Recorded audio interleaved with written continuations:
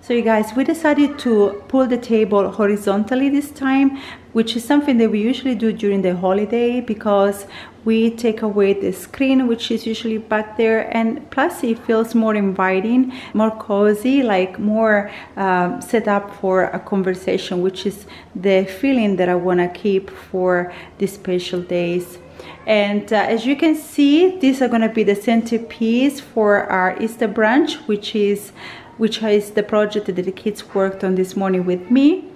And uh, I keep it very minimal. I don't shop for uh, seasonal decorations as you know that. So I just work with everything that I have around the house and I'm just gonna pull up the stuff and I'm gonna show you how I'm gonna turn this table into a little Easter brunch setting.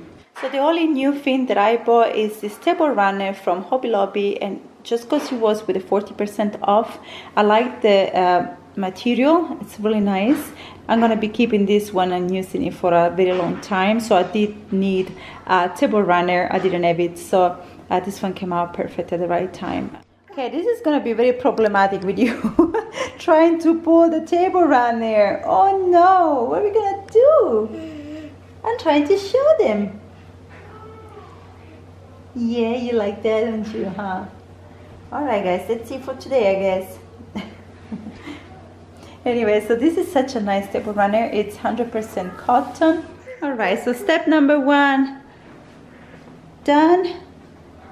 And this is what it looks like. Yeah i'm trying to keep it very rustic very minimal. And now i have a, a question. I have two different china. I have one that i got. Yeah from Craig, from craigslist Okay, she's gonna vlog for mom set. Alright, so I have this set of china right here for 16 people. Uh, and it's a discontinued one. So it's so pretty. It's made actually in Japan. It's such a great quality. Isn't it pretty? And I got all these for only 50 bucks on Craigslist years ago. And I still have it I love it. Uh, we managed not to chip any pieces of it. And uh, we actually use it for every day because I like it to just decorate the table. Is something that I like to do for my family.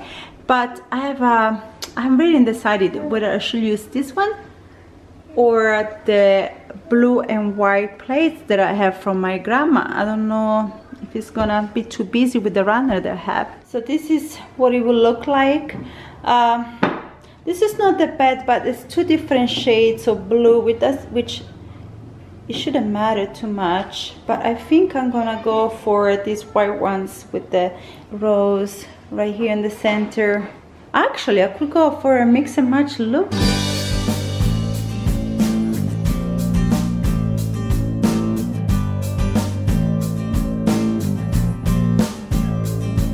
Alright, I think I like this look of mix and match since I couldn't decide.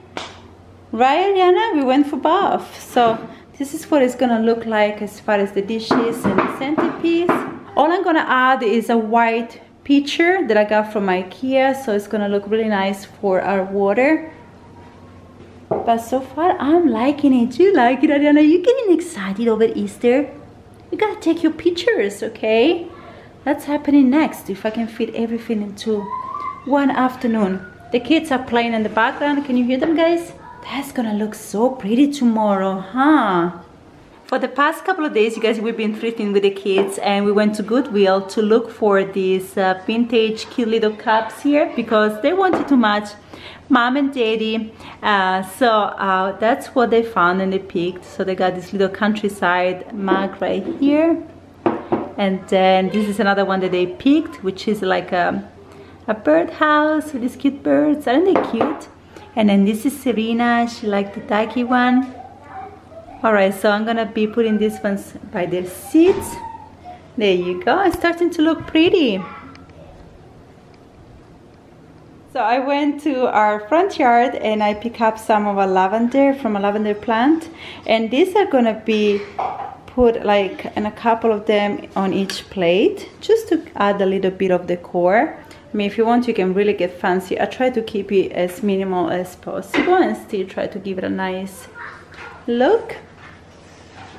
and I think that every time you bring in nature elements into your um, setting which is in this case my table it helps a lot it adds everything that you're missing I think and one more thing is that once these lavender flowers dry we're gonna be making some we can make bath bombs with these ones yeah we can crush them and we can make bath bombs all kinds of stuff so yeah we're gonna use these flowers a lot you guys like it Yes. I think everybody's excited about Easter huh Yes. Tomorrow's Easter. Dennis can you believe it I I remember it being April Fool's Day, and Oh. I still think it's. It went by pretty fast didn't it yeah It's like Christmas, and then it's already almost Easter. Remember the play you did when you put those little fake stuff on pasta? Oh. Yeah. One time on April Fool's Day, mommy and daddy put fake animals in our pasta.